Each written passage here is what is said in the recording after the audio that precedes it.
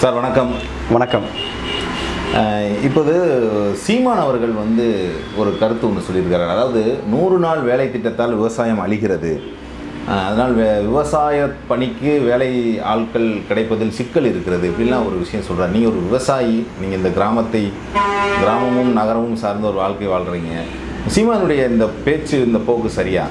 இல்லை முதலில் வந்து பார்த்திங்கன்னா போராடுகின்ற விவசாயிகள் தற்போது அவர்கள் மீது ஒரு பாராளுமன்ற உறுப்பினருடைய மகன் வந்து வாகனம் ஏற்றி படுகொலை செய்யப்பட்டதாக செய்திகள் வருது. அதை நீதி கேட்க போனவர்கள் மீது தாக்குதல் துப்பாக்கிச் சூடுகள் நடத்தியதாக அங்கங்கே சமூக வலைதளங்கள் மற்றும் ஊடகங்களிலே செய்தி வெளியாகி கொண்டிருக்கிறது. அதற்கு முதலிலே கடுமையான கண்டனத்தை பதிவு செய்ய விரும்புகிறோம். தவறு யார் செய்திருந்தாலும் அவர்கள் தண்டிக்கப்பட வேண்டுமே தவிர அதை விட்டு தட்டி கேட்க முயல்பவர்கள் மீது அடக்குமுறையை கையாளுவது அல்லது அவர்களை அதிகார துஷ்பிரயோகத்துக்கு உட்படுத்தப்பட்டு தாக்குதலுக்குள்ளாக்குவது என்பது இந்திய ஜனநாயகத்தை கேள்விக்குறியாக்குவதாக இருக்கிறது. எனவே இதற்கு முதலிலே கடுமையான கண்டனத்தை பதிவு செய்கிறோம். அடுத்து பார்த்தீங்கன்னா எங்கள் அண்ணச்சிமா வந்து பைத்தியம் பிடிச்சா வைத்தியம் பார்க்கணும்னு சொல்லுவாங்க. அதுபோல் லாஸ்ட்டாக கூட ஒரு காணொளி பேசியிருந்தோம். நம்ம கந்த சஷ்டி கவசம் வர்றப்போ ஒரு ப்ராப்ளம் வர்றப்ப கொஞ்சம் கடும் சொற்களால் மனம் வெதும்பி உணர்ச்சி பிளம்புகளால் உதிர்த்த வார்த்தைகளில் த- சில தடித்த வார்த்தைகள் இருந்தது. அதுக்கப்புறம் நான் நாம் தமிழரை சேர்ந்த உறவுகள் தம்பிகள் பேசினாங்க.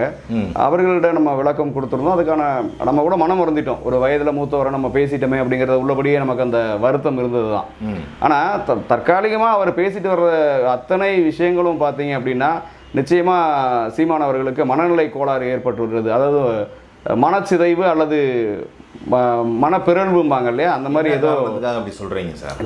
நூறு நாள் வேலை திட்டம் என்பது கம்யூனிஸ்ட் கட்சிகள் நீண்ட போராட்டத்திற்கு பிறகு அன்றைய காங்கிரஸ் ஆட்சியிலே கொண்டு வரப்பட்டது. கிராமப்புறங்களில் இப்போ விவசாயம்ங்கிறது எப்போ நடக்குது? கடந்த பத்து வருஷமாக நடந்துக்கிட்டு இருக்கு. அதற்கு முன்பெல்லாம் வந்து பார்த்தீங்கன்னா எங்கேயும் மழை இல்லை. வானம் பார்த்த பூமியாக தான் இருக்குது சீமான் பிறந்த ஊர்ல எல்லாம் நம்ம முப்போகம் விளைஞ்சிக்கிட்டா இருக்கு? ஸோ நானும் அவர் பக்கத்தில் அருகாமையில் இருக்கக்கூடிய ஊரை சார்ந்தவன் தான் இந்த பத்து வருஷம் கடந்த ஐந்தாண்டு இந்த ஐந்தாண்டு பருவ மழைகள் வந்து கொஞ்சம் அந்த தேவைக்கு அதிகமாகவும் கிடைக்கிற ஒரு சூழலில் நம்ம அதை பண்ணுறோம் போன வருஷம்லாம் பார்த்தீங்கன்னா விவசாயம் பண்ணி பருவமழை வந்து தேவைக்கு அதிகமாக பெஞ்சு அந்த விவசாயத்தை எடுக்க முடியாமல் கூட போச்சு. சரி. அப்படிப்பட்ட சூழலில் விவசாயம் செய்யக்கூடிய நபர்கள் விவசாயத்தால் இழப்பு ஏற்படுறாங்க. கிராமம் சார்ந்து இருக்கக்கூடிய நபர்கள் விவசாயம் இல்லாமல் கஷ்டப்படுறாங்க. இப்போ தமிழ்நாடு ஒன்றும் தன்னிறைவற்று த தன்னிறைவு அடைந்து அனைத்து இடங்களிலும் வந்து ஒரு ஃபேக்ட்ரி அல்லது தொழிற்சாலைகள் சிறு குறு தொழில்கள் முன்னேற்றம் அப்படி ஒன்றும் ஆகா ஓகோன்லாம் இல்லை. அப்போ குறைந்தபட்சம் அந்த கிராமப்புறத்தில் இருக்கக்கூடிய முதியோர்கள் அல்லது கிராமப்புறத்தில் இருக்கக்கூடிய பெண்கள் கிராமப்புறத்தில் இருக்கக்கூடிய அந்த வேலை வாய்ப்பற்றவர்கள் வேலைக்கு செல்லக்கூடிய சூழல் இருக்கிறவங்க யாரும் நூறு நாள் வேலையில் போய் உட்காந்துக்கிட்டு நான் இங்கே தான் உட்காந்துருப்பேன் இந்த அரசாங்கம் கொடுக்குற நூற்றி இருபத்தஞ்சு ரூபா இல்லை இப்போ சப்போஸ் இரநூத்தம்பது ரூபா அந்த காசை வாங்கி தான் நான் வாழ போகிறேன் அப்படின்னு இங்கே யாரும் இல்லை. அந்த கிராமத்திலிருந்து பக்கத்தில் இருக்கக்கூடிய அருகாமையில் வந்து ஒரு இருபது கிலோமீட்டர் இருபத்தஞ்சு கிலோமீட்டர்லையோ தொழிற்சாலைகள் எதுவும் இல்லாமல் சிறு தொழில் சிறு குறு தொழில் முனைவோர் மையம் இல்லாமல் தொழில் வாய்ப்பற்ற இடங்களில் தான் இது பெருமளவு பயன்படுகிறது. அஹ், சிமான் போகிற போக்கில் நான் ஆடு மா ஆடு மாடு மேய்க்கிறது அரசு வேலையாக்குவேன்றாரு. ஸோ இன்னைக்கு ஆடு மாடு மேய்க்கிற இன்னைக்கு நூறு நாள் வேலைக்கு போகிறோம்னா அதை தடுக்க சொல்கிறாரு ரெண்டுக்குமான முரண்பாடு எங்கே இருக்குது இல்லை இப்போ நீங்கள் ஒரு ஊடகவாதி நான் உங்கள்கிட்ட ஒரு முக்கியமான விஷயம் கேட்குறேன் இன்றைக்கு இருக்கக்கூடிய நூறு நாள் வேலை திட்டத்துடைய நிலைப்பாடுகளும் வேலை திட்டத்தினுடைய அந்த வேலையும் அங்கே இருக்கிற நடைமுறை பற்றி உங்களுக்கு நீங்கள் அறிஞ்சது தானே? அப்படின்ற போது நீங்கள் சீமானை வந்து இப்படி இப்படி ஒரு குற்றச்சாட்டு சொல்கிறீங்களா அவர் மேலே? இப்படி ஒரு சார் இப்போ நூறு நாள் வேலையில் வந்து வேலை சரியாக நடைபெறலை அதில் துரிதப்படுத்தணும் அவர்களை கண்காணிக்கணும் உரிய வேலை நடக்குதாங்கிறத பார்க்கணும் அப்படிங்கிறதுல யாருக்கும் எந்தவித மாறுபட்ட கருத்தும் இல்லை. அதில் நம்மளும் உடன்படுறோம். ஸோ அது கண்காணிக்கப்பட வேண்டியது தான் அல்லது கூடுதல் வேலைகள் கொடுக்க வேண்டியது தான் நூறு நாள் வேலை வாய்ப்பு திட்டம் வந்ததுக்கப்புறம் பார்த்தீங்கன்னா தமிழகத்தில் பெருமளவு வந்து மரக்கன்று நடக்கூடிய நிகழ்வு நடந்தது. அந்த மரக்கன்றுகளை நட்டார்கள். மரக்கன்றை நட்டு அதுக்கு தண்ணி ஊற்றி அதை பாதுகாத்தார்கள். ஏன்னா தண்ணி வந்து இன்னைக்கு எல்லா இடத்துலையும் கிடைக்கல. பல கிராமங்களில் போர்வெல்ல குடிநீருக்கே பிரச்சனையாக இருக்கக்கூடிய இடங்கள் இருக்குது அப்படி இருக்க இடத்துல எல்லாம் பார்த்தீங்கன்னா எல்லா ஊர்லையும் நான் சார்ந்திருக்கக்கூடிய கிராமத்தில் ஏறத்தாழ வந்து ஒரு ஆயிரத்தி முந்நூறு கண்டுகளுக்கு மேலே நடவு நட்டு இன்றைக்கு வரைக்கும் அதை பாதுகாப்பில் கொண்டு வராங்க. கம்மா கரையோரங்கள் சாலையோரங்கள் அல்லது புதிய வனங்களை உருவாக்குவது. தோட்டக்கலைத்துறை மற்றும் வனத்துறையினுடைய ஏற்பாட்டின் பேரில் புதிதாக வனங்களை உருவாக்குவதன் முயற்சியில் கண்டுகள் நட்டு அதை கொண்டு வந்துக்கிட்டு தான் இருக்காங்க. ஆனால் இப்போ உங்களுக்கு எப்படி சொல்கிறதுனா க கம்மாய்கள் தூர் வாரணும் அப்படின்னா அது அரசாங்கத்தில் இருக்கக்கூடியவர்கள் ஆளுங்கட்சியாக இருந்தாலும் சரி தற்போது ஆளுங்கட்சியாக இருக்கவங்களா இருந்தாலும் சரி. நாங்கள் வந்து அதை டெண்டர் விட்டு நாங்கள் தூர் வாடுறோங்கிற பேரில் ஜேசிபி வச்சு தூர் வார போகிறாங்க இவர்கள் செய்யக்கூடிய வேலைகள் என்னவா இருக்கும்? ஒரு கண்மாய்க்கோ ஒரு குட்டைக்கோ குளத்திற்கோ வரக்கூடிய வாய்க்கால்களை தூர்வாரி அதை செப்பனிடுகின்ற வேலையாகத்தான் இந்த நூறு நாள் பணியாளர்கள் செய்யக்கூடிய வேலையாக இருந்து வருகிறது. அந்த வேலைகளை இன்னும் துரிதப்படுத்தணும். இந்த இருக்கக்கூடிய வேலை குறைவாக நடைபெறுகிறது. இன்னும் இந்த வேலை சிறப்பாக நடைபெற வேண்டும் என்று சீமான் சொன்னால் நமக்கு அதில் எந்த எந்தவித மாற்று கருத்தும் இல்லை. நூறு நாள் வேலை வாய்ப்பினால் தான் விவசாயம் பொய்த்து விட்டது என்பது ஒரு முழு பூசணிக்கை சோத்துல மறைக்கிற வேலை இல்லையா? ம், இல்லை சீமான் அவர்களுடைய தாயார் இன்றைக்கு வரைக்கும் விவசாயம் செஞ்சு வர்றாங்க. அதை வச்சு தான் சீமான் வந்து எக்ஸ்கியூஸ் அந்த என்ன இஸ்யூஸ் இன்ஜினுக்கு வந்து டீசல் போட்டு வண்டி ஓட்டிட்டு இருக்காரா? இல்லை அங்கே இருக்கக்கூடிய ஊர்ல இருந்து வரக்கூடிய விவசாயத்துல இருந்து வரக்கூடியதுல தான் சென்னையில் அவர் வாடகை கொடுத்து தங்கிட்டு இருக்காரா? அதை வச்சு சாப்பிட்டுக்கிட்டு இருக்காரா? இல்ல அவருடைய விஷயத்துக்காக இல்ல. சீமானுடைய தாயார் நூறு நாள் வேலை வாய்ப்பு தேவையில்லைன்னு பதிவு பண்ணாங்கன்னா கூட அதை பரிசீலிக்கக்கூடியதாவது அல்லது கருத்துவாத பொருளாக்க வேண்டியதா இருக்கும். சீமான் சென்னையில ஒரு சொகுசு வாழ்க்கையில உட்காந்துக்கிட்டு தனக்கு பத்து பதினஞ்சு பேர் பாடி கார்டோட ஒரு எஸ்யூசி காரோட அங்க போக வாங்க தலைவான் கூப்பிடுறதுக்கும் வாங்க தலைவான் ரிசீவ் பண்றதுக்கும் ரெண்டாயிரம் பேர் நிப்பாட்டிக்கிட்டு தேவையில்லைன்னு சொன்னார்னா ஏழைகளின் வழி புரியாத ஒரு கிறுக்குத்தனமான பேச்சாகத்தான் இதை பார்க்க வேண்டியிருக்கு. இப்படி நீங்க எல்லா தலைவர்களையும் விமர்சிப்பீங்களா? ஒரு சொகுசு காரில் சொகுசு பங்களாவில் வாழ்ந்து கொண்டு மக்கள் பிரச்சனையை பேசுவது அப்ப தவறு சார் மக்கள் பிரச்சனையை பேசணும் சார். இவர் அடித்தட்டு மக்களின் தோழன் சொல்றாரு. நானும் கிராமத்துல இருந்து வந்தவன். எனக்கு கிராமத்தினுடைய வழி புரியும். இன்றைக்கு வரைக்கும் எங்க அம்மா விவசாயம் பார்க்குன்னு சொல்றாங்க. எந்த அரசியல் கட்சியினுடைய தலைவரோட அம்மா நேரடியா விவசாயம் பார்க்கறாங்க? அவர் இன்றைக்கு மக்களுடைய மக்களாக தானே இருக்காரு. மக்களுடைய மக்களா இருக்கேன்னு சொல்றாரு. அவங்க தாயாரோ தகப்பனாரோ இன்றைக்கும் வந்து அந்த கிராமத்துல தானே வாழ்ந்துகிட்டு இருக்காங்க. நீங்க இன்னைக்கு இருக்கக்கூடிய பல்வேறு அரசியல்வாதிகள் அல்லது அரசியல்ல யாரெல்லாம் பிரமுகர்களாக இருக்காங்களோ அவங்க ஏற்கனவே நகரத்திற்கு புலம்பெயர்ந்தவர்களாக இருக்கிறாங்க. ஸோ அதில் நமக்கு அந்த புலம்பெயர்ந்தவங்க வந்து கிராமத்தினுடைய வழியை அல்லது கிராமத்தில் இருக்கக்கூடியவர்களுடைய வருமானத்தின் சூழலை அறியாமல் சொல்லியிருந்தாங்கன்னா நம்ம அதை அது புறந்தள்ளிட்டு போயிடலாம். இடது கையால் புறம் தள்ள வேண்டிய விஷயம். ஆனால் ஒரு கிராமத்தானா இருந்து ஒரு பதினஞ்சு வருடம் அல்லது இருபது வருடத்திற்கு முன்பு வந்து சென்னையில் புலம்பெயர்ந்து ஏதோ வந்து இவர் தான் ஒட்டுமொத்தமாக இங்கேருந்து கன்னியாகுமரியிலிருந்து சென்னை வரைக்கும் ஒட்டுமொத்த விவசாயிக்கு இவர் தான் பேட்டன் ரைட்ஸ் வாங்கி வச்சிருக்கிற மாதிரியும் இந்த நூறு நாள் வேலை வாய்ப்பினால தான் வந்து ஒட்டுமொத்த விவசாயம் அழிஞ்சு போன மாதிரில சொல்றாரு. பத்து ஆண்டுகளுக்கு முன்னாடி பருவமழை எங்க இருந்தது? எத்தனை சதவீதம் பருவமழை பஞ்சு இருந்தது எப்போ எங்கெங்க விவசாயம் நடந்தது? விவசாயம் நடக்கிறதுக்கே வாய்ப்பு இல்லாதப்ப அந்த மக்களுக்கான கிராமத்தில் இருக்கக்கூடிய மக்களுக்கு குறைந்தபட்ச ஊதியத்தொகை கொடுக்கல. என்ன சார் தவறு இருக்கு? இப்போ நூறு நாள் வேலை வாய்ப்பு இருக்கு. அவர் மாற்று திட்டம் வச்சா என்ன சொல்லலாம்? விவசாயம் நடைபெறுகின்ற அந்த காலங்களில் நூறு நாள் வேலையை நிறுத்தி வையுங்கள். விவசாயம் அறுவடை முடிஞ்சதுக்கப்புறம் அந்த கோடை விதைக்காமல் அறுவடை முடிஞ்சிருச்சு. இப்போ ஒரு போகம் முடியுது. காலம் பருவம் அந்த பருவம் முடிஞ்சு நம்ம நெல் அறுவடை செஞ்சிடும் அதற்கு பிற்பாடு இருக்கக்கூடிய கோடை காலங்களில் வேலை இல்லாத நேரங்களில் இவர்களை பயன்படுத்துங்கள் சொல்லலாம். ஏன்னா அவர்கள் வந்து வாய்க்காலை தூர்வாடுறது கம்மாயை தூர்வாடுறது கண்டு நடுறது பராமரிக்கிறது இந்த பணிகள் தான் பண்ணுறாங்க அப்போ விவசாய வேலைகள் இருக்கின்ற பொழுது நூறு நாள் வேலையை நிறுத்தி வையுங்கள். விவசாய வேலை முடிந்த பிறகு கொடுங்கன்னு சொல்லலாம். இவர் ஒட்டுமொத்தமாக அந்த வேலையினால தான் விவசாயமே நாசமாக போச்சு அப்படின்னா ஒட்டுமொத்த கிராமத்தில் இருக்கக்கூடியவன் அதில் பால்பட போகிறான் சார் பாதிக்கப்பட போகிறோம் அப்போ நம்ம எதிர்த்து தானே ஆகணும்? இப்போ இதனால தான் சொல்கிறோம் அவர் இஸ்யூஸ் காரோ அந்த இன்ஜின் கிடச்சிருக்கக்கூடிய காரோ அல்லது ஒரு சொகுசு வாழ்க்கை வந்தோன்னா அடித்தட்டு மக்களுடைய வாழ்க்கையை மறந்துட்டான்னு சொல்கிறோம் இன்னும் வந்து குறைந்தபட்சம் ஒரு சட்டமன்ற உறுப்பினர் கூட நாம் தமிழர் கட்சியில் இல்லை. அப்படி. சொல்லக்கூடிய எல்லா விஷயத்தையுமே நீங்க வந்து எதிர்க்கிறதுக்கு என்ன சார் காரணம் இப்போ சீமான் சொன்னதுன்னா நான் வந்து கந்தசஷ்டி கவசத்துக்கு பிறகு சீமானுக்கு எதிராக பேசக்கூடிய இப்போ தான் பேசுகிறோம் அதன் பிற்பாடு பல்வேறு சர்ச்சைகள் வந்திருக்கு. அவர் மேலே பல்வேறு விமர்சனங்கள் வந்திருக்கு. அதை நம்ம விமர்சனப்படுத்தலை. நாம் நேரடியாக நான் ஒரு விவசாயி மகனாக ஒரு விவசாயியாக நான் எங்கே ஒரு கிராமத்தானாக நான் எங்கே பாதிக்கப்படுறேனோ அப்போ நான் எதிர்வினை ஆற்ற வேண்டியது இருக்கு அன்றைக்கு வந்து முழுக்க முழுக்க வந்து என் முப்பெருமான் என்னுடைய முப்பாட்டன் முருகப்பெருமான் சொல்லி தூக்கி கொண்டாடினாரு. ஒருத்தன் இழிவுபடுத்துறப்ப கண்டுக்காம இருந்தார். அதனால நம்ம கோவப்பட்டோம். சரி. இன்னைக்கு இருக்கக்கூடிய நான் மட்டும் இல்ல என்னை போல இருக்கக்கூடிய இளைஞர்கள் அத்தனை பேருமே அதுல வந்து பாதிக்கப்படுவாங்க பொங்கி தான் செய்வாங்க. ஏன்னா நாங்க வந்து நேரடியாக அந்த வேலைக்கு போறது இல்ல பட் என்னுடைய வீட்டில் இருக்கவங்க போக தானே செய்றாங்க. என்னுடைய அப்பா போகலாம் என்னுடைய அம்மா போகலாம் என்னுடைய அத்தை போகலாம். உங்களுடைய பார்வையில ஒரு நூறு நாள் வேலை திட்டம் என்பது செம்மையாக நடந்து கொண்டிருக்கிறதுன்றதா. நூறு நாள் வேலை திட்டம் நடைபெறுகிறது. சிறப்பாக நடைபெறுகிறதா என்றால் இல்லை. அதைத்தான் சீமான் சொல்றார். சிறப்பாக நடைபெறவில்லை. எனவே அந்த திட்டம் சீமான் சொல்றது. தேவையாங்கிறது இல்ல அதை எப்படி சீர்திருத்தம் கொண்டு வரணும்? அதை எப்படி வந்து முன்னேற்றணும்? அல்லது எப்படி வேலை வாங்கணும்? அல்லது அதுக்கான அளவுகோல் என்னங்கிறத கொண்டு வரணும். இப்போ அரசு ஒரு திட்டம் நிர்ணயிக்கிறாங்க. அஹ், நிர்ணயிச்சு அதுக்கு பிற்பாடு பார்த்தீங்கன்னா இடையில வந்து கொஞ்சம் ஆஃபீஸர்ஸ்லாம் போட்டிருந்தாங்க. அதை அந்த அளவு குழியினுடைய அளவு அளவு அல்லது வாய்க்கால் வெட்டுறாங்கன்னா அதனுடைய மீட்டருடைய நீளம் இதெல்லாம் அளவுக்கு உட்படுத்தினாங்க. அதை தொடர்ந்து கண்காணிக்க வேண்டும்ங்கிற வேண்டுகோள் தான் இருக்கே தவிர அதனால நூறு நாள் வேலை வாய்ப்பு வந்தனால விவசாயம் பூரா தடை விட்டு போச்சு. நூறு நாள் வேலையை தடுத்து நிறுத்துங்கன்னு சொல்றது அது எப்படி சரியா இருக்கும்? அது சரியில்லாத வாதம் தானே? அதைத்தான் நம்ம எதிர்க்கிறோம். இப்ப சீமான் அவர்கள் சொன்ன அந்த நூறு நாள் வேலை திட்ட எதிர் விமர்சனம் என்பது தவறு இல்லையா? நூறு சதவீதம் இந்த கருத்தை அவர் பின்வாங்க வேண்டும். நூறு நாள் வேலை திட்டம் என்பது ஒவ்வொரு கிராமத்தில் இருக்கக்கூடிய அடி அடித்தட்டு நடுத்தர மக்களுக்காக தேவையான அத்தியாவசியம் என்பதை என்னுடைய கருத்தை நான் பதிவு செய்கிறேன் தமிழ் தேசியம் பேசுகிற தோழர்களும் தமிழ் தேசியம் பேசுகிற அரசியலை நீங்க தொடர்ந்து விமர்சிக்கிறதுக்கு என்ன காரணம்? சார் நான் வந்து ஜெயக்குமார் தேவர் தான் வச்சுருக்கேன். ஏன்னா இங்கே உடனே ஜாதி சான்றை தேட ஆரம்பிச்சிருவாங்க. நீ தெலுங்கன் நீ வடுகன் நீ வந்தேரின்றுவாங்க. ஸோ நான் வந்து இதே மதுரையை சார்ந்தவன் தான் மதுரை மேலூரை சார்ந்தவன் தான். ஜெயக்குமார் தேவருங்கிற என்னுடைய வம்சத்தினுடைய பட்டப்பெயரை தாங்கி தான் இருக்கிறேன் அதுல எல்லாம் எனக்கு எந்த மாற்று கருத்து இல்லை. தமிழ் தேசியம் பேசக்கூடிய சீமான் அவருடைய தமிழ் தேசியம் என்பது நகைப்புக்குள்ளாகி இருக்கிறதுன்னு தான் சொல்கிறோம் யார் தமிழர் அப்படிங்கிறதுல குழம்புறாரு. திரும்ப வந்து எல்லாருமே ஓகே வீட்டுக்குள்ளே வெளியில் தமிழ் பேசிட்டு வீட்டுக்குள்ள வேற மொழி பேசுகிறவர்கள் அந்நியர்கள் அப்படிங்கிறாரு. சரி ரைட்டு. அந்நியர்களை அவரும் வேட்பாளராக நிறுத்துறாரு ஏற்றுக்கிட்டார்ல அந்நியர்கள் யாரெல்லாம் அந்த மண்ணில் இருக்காங்களோ அவங்கள நாங்கள் ஏற்றுக்கிறோன்னு சொல்கிறாரு அவங்களுக்கு வந்து நாம் தமிழரில் வாய்ப்பு கொடுக்கப்படுது அதை ஏற்றுக்கிறாரு எங்கேயாவது ஒரு மேடைகளில் போகின்ற பொழுது தமிழ் குடிகளுக்குள்ள அதாவது தமிழ் சாதிகள்னே சொல்லலாமே தமிழ் ஜாதிகளில் நடக்கின்ற மேடையில் ஒரு ஜாதி மேடைகளுக்கு போகிறப்ப இன்னொரு ஜாதியை இழிவுபடுத்தி பேசுறது. இல்ல அவர் எங்கேயுமே எந்த சாதியவும் அவர் இழிவுபடுத்தி எந்த இடத்துலையும் பேசினது சார் இப்போ ஒரு பதினைந்து இருபது நாள் நினைக்கிறேன். இந்த மாசத்துல தான் நம்ம நவம்பர் மாசத்துல நினைக்கிறேன். இது அக்டோபர் இல்லையா? நவம்பர் மாசத்துல நினைக்கிறேன். என்னுடைய நினைவு சரியா இருந்தா. ஓ- ஒரு பத்திரிகையாளர் சந்திப்பில் சொல்றாரு. இங்கு வந்து தெலுங்கர்கள் வந்து ஆட்சி செஞ்சுட்டு இருந்தாங்க. தெலுங்கர்களை விரட்டி அடிக்கிறப்ப கள்ளர் மறவர்கள் எல்லாம் ஓடி விட்டார்கள் அவர்களோடு இன்று தேவேந்திர குல வேளாளர் என்று அழைக்கக்கூடிய பல்லர்கள் தான் உடனிருந்து தெலுங்கர்களை விரட்டி அடித்தார்கள்னு சொல்றாரு. இல்ல இல்ல அவர் ஓடி விட்டார்களோ அல்லது தெலுங்கர்களை தேவேந்திரகுல வேளாளர்கள் தான் எதிர்த்தார்கள் என்று சொல்லல. அவர் என்ன சொன்னாருன்னா விஜயநகர சாம்ராஜ்யம் இங்கு நிலை வரும்போது கள்ளரும் மறவரும் பாளையங்களை வாங்கி கொண்டு ஒதுங்கி கொண்ட போது அவர்களை எதிர்த்து பாண்டியர்களோடு நின்று போர் செய்தவர்கள் தேவேந்திரகுல வேளாளர்கள் என்று வாங்கிக்கிட்டு ஒதுங்கிட்டாங்கன்றதுன்னா ஓடி போயிட்டாங்கன்றதுக்கு சார். ரெண்டு ஒரே பொருள் தானே? ஒன்றும் நான் ஒன்றும் இரநூறு கிலோமீட்டர் வித்தியாசத்தில் உங்களுக்கு வேற பொருள் போட வார்த்தை பயன்படுத்தலையே.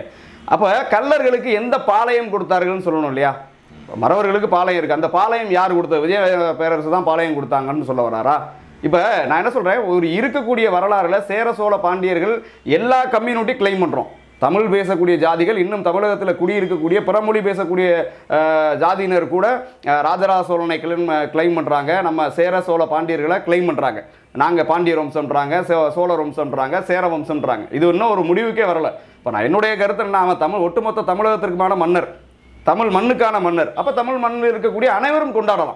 இப்போ எப்படி வந்து மறைந்த முன்னாள் முதலமைச்சர் கலைஞர் அவர்களை கொண்டாடுறாங்களோ மறைந்த முன்னாள் முதலமைச்சர் செல்வி ஜெயலலிதாவை கொண்டாடுறாங்களோ முன்னாள் முதலமைச்சர் வந்து திரு எம்ஜி ராமச்சந்திரன் ஆகிய எம்ஜிஆர் அவர்களை கொண்டாடுறாங்க அதற்கு முன்பு இருந்த முன்னாள் முதல்வர் அண்ணாதுரை அவர்களை கொண்டாடுறாங்க. ஏன்னா இவர்கள் எல்லாம் இந்த மண்ணிலே ஆட்சி செய்தவர்கள். அப்படி இந்த மண்ணிலே ஆட்சி செய்த சேர சோழ பாண்டியர்களை கொண்டாடுவதோ ராஜராஜ சோழனை கொண்டாடுவதோ யாருக்கு எந்தவித மாற்று கருத்து இல்லை. ஆனால் இவர் நேரடியாக சொல்கிறாரு ஒரு குடியை குறிப்பிட்டு இவர்கள் தான் பாண்டியர் இனத்தை சார்ந்தவர். எனக்கு ஒரு ஒரே ஒரு நகைப்புக்குள்ளான விஷயம் என்னன்னா இந்த மாதிரி புத்தகங்கள்லாம் அண்ணன் சீமானுக்கு எங்க கிடைக்குதுன்னு தெரியல. ஒருவேளை எனக்கும் கொடுத்தாருன்னா அந்த படிச்சு கொஞ்சம் அவர் அளவுக்கு நானும் அறிவு வளர்த்துக்குவேன். இல்ல எந்த புத்தகம்? எந்த புத்தகம்? இல்ல இவர் ஒரு சமூகத்தை குறிப்பிட்டு இவர்கள் தான் பாண்டியர் வம்சம். அது ஏற்கனவே வந்து ஜெயலலிதா வந்து சட்டசபையில் வந்து சொன்னாங்க. நாடார்கள் தான் சேர சோழ பாண்டியர் வம்சத்தை சார்ந்தவர்கள்னு சொல்லிட்டு அதற்கு ஒரு வரலாற்று புனைவை கொடுத்து அவர்கள் சட்டமன்றத்தில் பேசியிருந்தார்கள். அப்போது அதற்கான எதிர்ப்புகளை பதிவு செய்திருந்தோம். இது போன்ற ஊடகங்கள் இல்லாதனால வெளியில் வர்றதுக்கான காலச்சூழல்கள் அன்று இல்லாமல் இருந்தது. ஆனால் இதற்கான எதிர்ப்பை பதிவு செய்திருந்தோம். இன்றைக்கு தேவேந்திரகுல வேளாளர் என்று அழைக்க கோருகின்ற அந்த மாநாடு அந்த ஏழு சமூகத்தை சேர்த்து தேவேந்திரகுல வேளாளர் என்று அழைக்க கோரிய ஒரு கூட்டம் சென்னையில் இருக்கக்கூடிய வல்லூர் கோட்டத்தில் நடைபெறுகிறது. அந்த வல்லூர் கோட்டத்திற்கு சென்றிருக்கக்கூடிய சீமானவர்கள் பதிவு செய்கிறார். இங்கே இவர்கள் தான் பாண்டியர்கள். பல்லர்கள் தான் பாண்டியர்களாக இருந்தார்கள். வேறு எவரும் பாண்டியர் என்று இங்கே கிளைம் பண்ணக்கூடாது. எவனாவது பேசினா அவன் நாக்கு அறுப்பேங்கிறார் ஏன்னா இவர் ஒருவேளை வந்து நாம் தமிழர் ஒருங்கிணைப்பாளர் வேலையை விட்டுட்டு தாசில்தார் வேலையில் இறங்கிட்டாரா? யார் யார் என்னென்ன குடிகள் சொல்லி ஜாதி சான்று கொடுக்குற வேலையில் இறங்கிட்டாரா? அதாவது அவர் அவர் அவருக்கு கிடைக்கப்பட்ட தரவுகளின் அடிப்படையில் அவர் பேசுறாரு. சார் தமிழ் தேசியம் மறுத்து பேசுங்க. இல்ல, இல்ல, தமிழ் இது தேசியம் கருத்தியல் தளம் தானே. இப்போ நம்ம கருத்தியலாக அதை மறுக்க தான் சார் செய்கிறோம் அப்போ அவர் சொன்ன மாதிரி நானும் பிடிச்சி நாக்க இருப்பேன்னு சொல்லலையே பதிலுக்கு. சீமான் தவறாக பேசுகிறார் சீமான் நாக்க இருப்போம் நான் சொல்கிறோம் அவரு பல்லர்கள் தான் பாண்டியர்கள் அப்படின்னு தான் சொல்லியிருக்காரு நாக்க இருப்பேன் அப்படிலாம் சொன்னதா சொன்னார் சொன்னார். அதே வீடியோல இருக்கு முழு வீடியோல நீங்க பின்னாடி பார்க்கலாம். வேற எவராவது இதை இல்ல மறுத்து பேசுனீங்க யாரு கிளைம் பண்ணீங்கன்னா நாக்க இருப்பேனே சொல்லியிருக்காரு. சரி அப்ப பாண்டியர்கள் யார்? உங்க ஆய்வுல. பாண்டியர்கள் யார் அப்படிங்கிறத நானும் கிளைம் பண்ணலாம். என்னுடைய சக குடிகளான யார் வேணாலும் கிளைம் பண்ணலாம். தமிழகத்தில் இருக்கக்கூடிய அனைத்து அனைத்து ஜாதியும் கிளைம் பண்ணலாம். அதுல எனக்கு எந்தவித மாற்று கருத்து இல்லை. ஆனா யார் என்று சொல்லக்கூடிய தொல்லியல் துறை அல்லது ஆய்வுத்துறை வந்து இன்னும் இவங்க தான் டிக்ளேர் பண்ணல. அது யாரையுமே இன்னும் சொல்லல. டிக்ளேர் பண்ணல. இப்போ நம்ம லாஸ்ட்டாக நம்ம பாண்டியர்கள் எப்படி கிளைம் பண்றோம்? நம்ம இன்னைக்கு வரைக்கும் பார்த்தீங்கன்னா குற்றாலத்தில் இருக்கு. ஸோ பாண்டியன் வந்து அங்கே வந்தது போனதுக்கான அவர்கள் மறவர் தான் அப்படிங்கிறதுக்கான அடையாள சான்றுகள் இருக்கு. அதுபோக பல்வேறு பல்வேறு கல்வெட்டு சான்றுகள் இருக்கு. பாண்டியர்களாக இருந்திருக்கக்கூடியவர்கள் இந்த பகுதியில் இருந்திருக்கக்கூடியவர்கள் இவர் இந்த முக்குளத்தூர் சமுதாயத்தை சார்ந்த மறவர் இனத்தவர்கள் தான். அப்படிங்கிறதுக்கான வரலாற்று தரவுகள் இருக்குது அதை வச்சு பேசுகிறோம் ஆனால் சீமானவர்கள் எந்த ஆதாரத்தில் பேசுகிறார் இல்லை ஒரு மேடைக்கு போயிட்டோம் அங்கே இருக்கக்கூடிய சிறார்கள் தம்பிகள் அல்லது கைதட்ட வேண்டும் அல்லது வரலாற்று புரிதல் இல்லாதவர்கள் இப்போ முகநூர்ல பார்த்தீங்கன்னா நீ பாண்டியனா நான் பாண்டியனா ஒரு சண்டையே நடந்துகிட்டு இருக்கும். அது நிறைய நடக்குது. நடக்குது. அந்த போல அந்த போல வந்து ஒரு வரலாற்று புரிதலோ அல்லது வரலாற்று தேடலோ இல்லாத அந்த அன்பு தம்பிகளுடைய கைதட்டை வாங்க வேண்டும். அவர்களிடத்திலே சீமான் தான் பெரியவர். சீமான் தான் உண்மையை பேசுகிறார் என்கின்ற தோற்றத்தை உருவாக்க வேண்டும் என்பதற்காக சீமான் திட்டமிட்டே இது போன்று பேசுகிறாரோ தான் சர்ச்சையில் சிக்க வேண்டும் என்பதே பேசுகிறாரோ என்பது கூட என்ன தோன்றுகிறது? இல்ல அப்படி ஒரு அரசியல் தலைமை பொறுப்புல இருக்கிறவர் அப்படி பேச வேண்டிய அவசியம். அரசியல் சீமான் தலைமை அவர்கள் பேச தமிழர்களா பேசணும்னு சொல்றாரு. இப்ப நான் வந்து ஜெயக்குமார் தேவரன் போட்டா தேவரை விட்டுட்டு வா. ஜாதி பார்க்காத ஜாதி பார்த்தா ஓட்டு போடாத ஜாதி பார்த்து நீ ஓட்டு போட்டேன்னா எனக்கு தீட்டுங்கிறாரு. அப்ப ஒரு சமூகம் தான் பாண்டியர் ஒரு சமூகம் தான் சேரர் ஒரு சமூகம் தான் சோழர்னா மித்த இருக்கக்கூடிய தமிழ் குடிகள் எங்க போனாங்கன்னு கேக்குறேன் நான். இல்ல இதை வந்து நீங்க வந்து ஆய்வுல தொல்லியல் அறிஞர்கள் தொல்லியல் ஆய்வு நம்ம பண்ணுவோம் சார் அவங்க கிட்ட கேட்போம் ஆய்வுகள் வர்ற வரைக்கும் வெயிட் பண்ணுவோம். அதுக்கப்புறம் நான் நான் கிளைம் பண்ற மாதிரி எந்தெந்த ஜாதி கிளைம் பண்ணுதோ அவங்க கிளைம் பண்ணிட்டு போட்டோம். சேர சோழ பாண்டியர்கள் நான் தான் நான் கிளைம் இப்ப இதே போல அனைத்து தமிழ் ஜாதிகள் கிளைம் பண்றாங்கன்னா அவங்க அவங்க இருக்கிற தரவுகளை கிளைம் பண்றாங்க. எங்கிட்ட இருக்க தரவுகளை நான் கிளைம் பண்றோம். இப்போ இன்னைக்கு வரைக்கும் வந்து பாத்தீங்கன்னா திரு ஸ்டாலின் அவர்களோ திரு எடப்பாடி அவர்களோ சேர சோழ பாண்டியர்கள் தான் சொல்லல. அவர்களும் அதிகாரத்தில் இருக்கக்கூடிய கட்சி தானே. அவர்களும் மாநிலம் முழுக்க கூடிய ஆட்சி செய்யக்கூடிய கட்சிகள் தானே. சித்தாந்தம் வேறு. இவர் வந்து தமிழ் தேசிய சித்தாந்தம் சொல்றாரு அவங்க திராவிட சித்தாந்தம் சொல்றாங்க. எந்த தொல்லியல் அடையாளங்களும் இன்னும் அவங்க என்ன சாதின்னு நம்மளுக்கு குறிப்பிடல சார். எல்லாரும் கல்வெட்டுகளை வச்சு ஒவ்வொரு அனுமானத்துல தான் வரலாறு பேசுறோம். இன்னைக்கு பெரிய புத்தகங்கள் அப்படித்தான் எழுதப்பட்டிருக்கு. ஆமா. அதை நம்ம மறுப்பதற்கு இல்ல அப்ப சீமான் அவர்கள் பேசுறதுக்கான என்ன நோக்கம் நினைக்கிறீங்க? இப்ப. சீமானவர்கள் தமிழ் குடியின் ஒற்றுமை விரும்புகிறார்களா? தமிழ் குடியை அடிச்சுக்கிட்டு சாகணும்னு விரும்புறாங்களான்னு தெரியல. இப்ப சீமான் வந்து மறவரையும் பல்லரையும் பறையரையும் அனைவரையும் ஒரே தராசுல வச்சு பார்க்கணும்னா ஒரு குடிப்பு பெருமை இவர் ஏன் பேசணும்? வாக்கு கேட்க போற இடத்துல பேசுறாரு. தேவேந்திர குல வேளாளர்கள் இவர் தேவர்களுக்கு இந்திரரை சார்ந்தவர். இப்ப ஒருவேளை இவர் வந்து ஆதி காலத்துல சிவனுக்கு முன்னாடியே பிறந்து இருந்திருந்தாரோ? இவரே கடவுள் கிடையாதுங்கிறாரு முதல்ல. அதுக்கப்புறம் இல்ல இல்ல, ஒரு நிமிஷம் நான் அதை முடிச்சுக்கிறேன். முதல்ல அவர் கடவுள் இல்லைன்னு சொன்னார். அது அதுக்கப்புறம் எனக்கு வந்து ஒரு இறையியல் வழிபாடு உண்டுன்னு சொல்லி வந்தார். இறையியல் மெய்யியல் கோட்பாடு இருக்கு அப்படின்னு வந்தார். சரி வாங்க. அதன் பிறகு சிவன் என்னுடைய மூத்தோர்னார். இப்ப ஒன்னொன்னா அவர் உள்வாங்கி ஏத்துக்கிட்டே தான் இங்க தான் வந்துகிட்டு இருக்காரு. அவர் அவருடைய கொள்கையிலிருந்து தளர்ந்து தான் வந்துட்டு இருக்காரே தவிர அவர் கொள்கையில நிக்கல.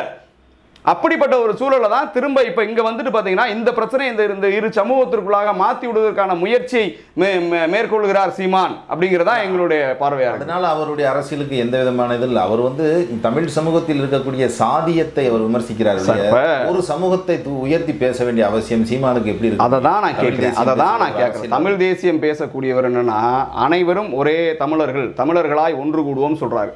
இதுவே ஒரு பித்தலாட்டம்னு சொல்றேன். இன்னைக்கு சீமான் வந்து என்ன சொல்றாரு? அவர்கிட்ட எந்த அதிகாரமும் இல்லை. ஒரு முப்பது லட்சம் வாக்குகள் வாங்கியிருக்காங்க. அது ஒன்று தான் அவர்களுக்கு கிடைத்திருக்கக்கூடிய ரெகக்னைசேஷன் அதுவுமே இளைஞர்கள் ஒரு புரிதலற்று போட்டிருக்காங்க. அது நீங்க சொல்றீங்க புரிதல் அற்றுன்னு சரி அவர் இல்ல இல்ல அவருடைய அவருடைய சீமான் எங்களுடைய அண்ணன் சீமான் பார்வையிலே நம்ம பார்ப்போம். நாம் தமிழர் தான் வெல்ல வேண்டும் சொல்லி அத்தனை இளைஞர்களும் மாங்க மாங்கன்னு குத்திட்டாங்கன்னு வச்சுக்கோங்களேன். மற்ற வச்சுட்டாங்க. நாம் தமிழர் தான் ஆட்சி அதிகாரத்துக்கு வரணும். அதிகாரத்துக்கு வர்றதுக்கு முன்னாடி எம்புட்டு பொய் பேசுகிற சீமா ஒரு அதிகாரத்தில் உட்கார்னா இந்த சமூகத்தை எப்படி துண்டாடுவார்னு கேட்குறேன் ஒரு உணர்ச்சி புலம்பாக பேசுறாரு. ஆட்சி அதிகாரம் என் கையில் கிடைத்தும் ஒரு நாள் வசப்படும். அன்னைக்கு நீ செத்தங்கிறாரு. இல்ல இதெல்லாம் பழைய விமர்சனம் சார். சார். பழைய விமர்சனம் இங்க ஒத்த கடையில இந்த தேர்தலில் போட்டோம் சார். ரெண்டாயிரத்தி பத்தொன்பது நம்ம இந்த சாரி ரெண்டாயிரத்தி இருபத்தி ஒன்று சட்டமன்ற தேர்தலுக்கான தேர்தலை நம்ம ஒத்த கடையில போட்ட மீட்டிங்ல பேசினதான் இவர். வேற எங்கேயும் பேசிடல. பேசி ஒன்றும் பதினஞ்சு வருஷம் ஆயிரல. அதை ஒன்று பேசுறாரு. இப்போ பே இல்லை சார் ரெண்டாயிரத்தி இருபத்தொன்னுல பாருங்க அங்க பேசுறாரு. அது தேர்தலுக்கு முன்பு வந்து அங்க சென்னையில வந்து ஒரு மாநாடு நடக்குது. தேவேந்திர குல வேளாளர் பெயர் மாற்றத்துக்கும் பட்டியல் வெளியேற்றத்துக்கு மாநாடு நடக்குது. அந்த மாநாட்டில் போய் இவர்கள் தான் பாண்டியர்கள் சொல்லிட்டு பேசுறாரு. அங்க ஒரு குடியை அடையாளப்படுத்திட்டு வர்றாரு. அதன் பிற்பாடு இப்போ நம்ம உள்ள ஊரக உள்ளாட்சி இடைத்தேர்தல் நின்று போன அந்த ஒன்பது மாவட்டங்களுக்கான ஊரக உள்ளாட்சி தேர்தல் இப்போ நடக்குது. இங்க நம்ம நெல்லை பகுதிகளில் போய் பேசுறப்ப அஹ், தேவேந்திர குல வேளாளர்கள் பேசினாங்க கேட்டிருந்தாங்க. தேவர் இந்திரர் அவர் இந்திரரை கூடிய வணங்கக்கூடியவர். அதனால வந்து அவங்க தேவேந்திரர் கிளைம் பண்றாங்கன்னு சொல்ல வர அது என்ன அஹ், முழுசா சொல்ல வந்தாருன்னு தெரியல. அவர் அந்த அது அது ஒரு தடுமாற்றத்தோடே சொல்றாரு. இல்ல இப்போ உடனே அவசரமா அந்த மேடையில சொல்லியாக வேண்டியது என்ன இருக்கு? வாக்கு வங்கி அறுவடைக்காக ஒரு சமூகத்தை புறந்தள்ளி ஒரு சமூகத்தை வந்து இவர் கையில் எடுக்கிறாரோ அப்படிங்கறத அதை பார்க்க வேண்டியது இருக்குல்ல? இப்படி பாருங்களேன். ஒரு அரசியல் களத்தில் இதுவரைக்கும் அங்கீகரிக்கப்படாத ஒரு பெரும் கூட்ட சமூகம் அதனை தமிழ் சமூகத்திற்காக நாம் தமிழர் அரசியலுக்காக அவர்கள் அரவணைத்துக் கொள்ளலாம்னு கூட இப்படி ஒரு சகோதர சமூக உணர்வோட கூட சரியா வந்தீங்க சார் சரியா சரியா வந்தீங்க. நான் இப்ப திராவிட கட்சி மாதிரி இவரும் ஜாதி பார்த்து வேட்பாளர் போட போறான்னு சொல்ல வரீங்களா? இல்ல அப்படி இல்ல நீங்க எப்படி அடையாளப்படுத்துவீங்க? ஒரு சமூகம் பின்தங்கி இல்ல சார். இல்ல இவரை வந்து ஜாதியை அடையாளப்படுத்த கூடாது ஜாதி சான்று கொடுக்க கூடாது ஜாதி பாக்குறேன் ஓட்டு போடக்கூடாதுன்னு சொல்றாரு நாம் தமிழர் சீமான். ஆனா எப்படி வாக்களிப்பா எப்படி அவர் வேட்பாளர் தேர்வு பண்ணுவாரு இப்போ எந்த சமூகம் பின்தங்கி இருக்குங்கிறது ஜாதி அடையாளப்படுத்தினா தானே நான் தேவர் நாடாரு கோனாரு செட்டியார் பிள்ளமாறு பல்லர் பறையர் இன்னும் இருக்கக்கூடிய அருந்ததியர். என்ன ஜாதி வேணாலும் இருக்கட்டும் சார். இவர் இந்த சமூகம் தெரிஞ்சா தானே இந்த சமூகம் முன்னேறி இருக்கா? இந்த சமூகம் பின்தங்கி இருக்கான்னு பார்த்து நீங்கள் வேட்பாளர் கொடுக்க முடியும். அரசியல் அது அதிகாரம் பெற்று இருக்கா இல்லையாங்கிற எங்கேருந்து பார்ப்பீங்க? சக ஜாதி தெரிஞ்சுதான் பார்க்கணும். இப்போ இவர் வந்து ஒரு ஜா ஓ- ஓட்டு கேட்க போகிறப்ப இங்கே வந்து பல்லர் இல்லை பறையர் இல்லை நாடார் இல்லை கோனார் இல்லை செட்டியார் இல்லை தேவர் இல்லை கல்லர் இல்லை மறவர் இல்லை. அனைவரும் தமிழர்கள். எனக்கு வாக்களிங்கள்னு கேட்கணும். தமிழராக இருக்கக்கூடியவர் எந்த ஒரு சாதியை உயர்த்தி பேசுவதும் தவறு எந்த ஒரு சாதியை தாழ்த்தி பேசுவதும் தவறு தானே? அப்ப வாக்கு வங்கிக்கு அந்தந்த பகுதிகளில் போறப்ப பச்சோந்தியா சீமான் மாறுறாருன்னு நான் நினைக்கிறதுல என்ன சார் தப்பு இருக்குதுல்ல?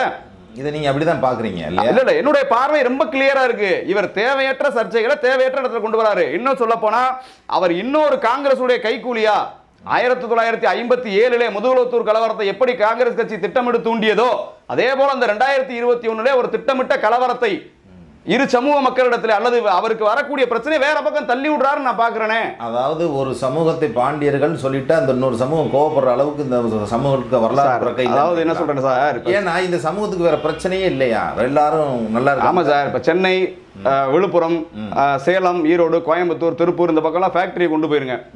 ஸோ அங்கே வந்து காலைல இருந்துச்சுன்னா வேலைக்கு போகணும்னு நினைப்பான்.